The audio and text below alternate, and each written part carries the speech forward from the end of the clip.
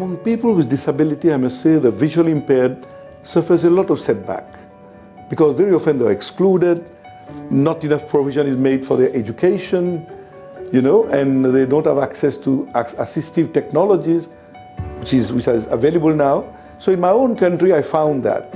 And therefore, we decided to have special program to support a person with visual impairment in education. We gave them assistive devices, be it laptop with the right software, be it a smartphone, be it smart cane, and a set of gadgets, plus also training and, and accompaniment, so that they can manage on their own. I may say this has given them new hope. And we intend to intensify now the work more with the collaboration that I intend to have with Commonwealth of Learning. You know, in 2011, I retired. And there was a strong desire for me to do something different from what I've done. And there came the, the, my inner voice, so to say, telling me, it's after you've done so much in life, it's time for you to give back. And I felt that there was that sense of gratitude I have to life, and I have to give back. So I created Global Rainbow Foundation as a channel which will help me to touch the lives of those people who are in the most vulnerable group. And I chose specifically person with disability.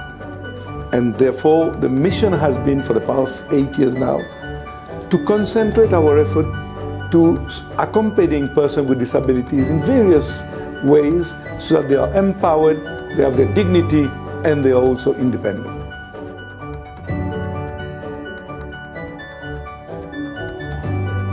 We should realize that in the world today, almost 15% of the population suffers from some disability, which is huge, you know, almost 1 billion. So we cannot be insensitive to that situation. And any organization serving uh, the world cannot stay away from this issue of serving persons with disability. They are part of the population, they have the legitimate right, and they also have a lot of potential. And we need to look at them not at the disability, look at the abilities within them. And here I would like to quote Robert Hensel. He says, I choose not to put this in my ability. You know, so and this is a big potential. And that's why I felt that Commonwealth of Learning cannot uh, be out of it. Commonwealth of Learning has to take a lead. And it's, it's not doing something new totally.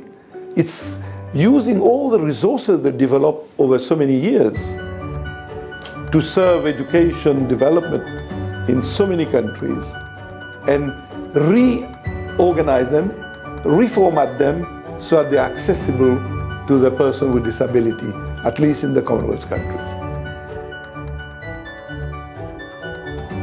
The good thing now is that we have an international convention. We have the United Nations Convention on the Right of Persons with Disabilities, which has been endorsed by the whole world. So this is a framework.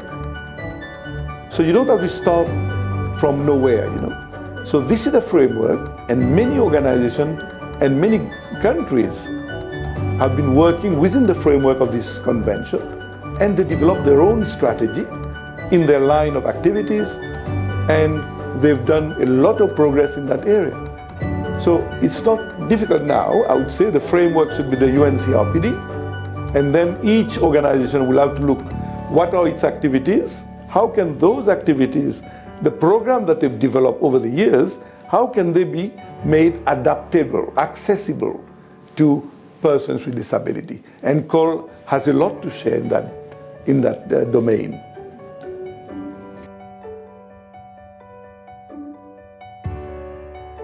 I think one very important one in the modern world now is web accessibility. And that should be one main, uh, you know, uh, mission. The second one will be to develop all the material that you have to make them in accessible format. You know, a blind person cannot go on your website and benefit. So you have to adapt that. And there are te technologies available to do that now. And the third thing is providing regular support to the student community, to the, your beneficiaries. Facilitate them to have the access. So I believe these are the three main considerations that would greatly help an organization to offer its services inclusively.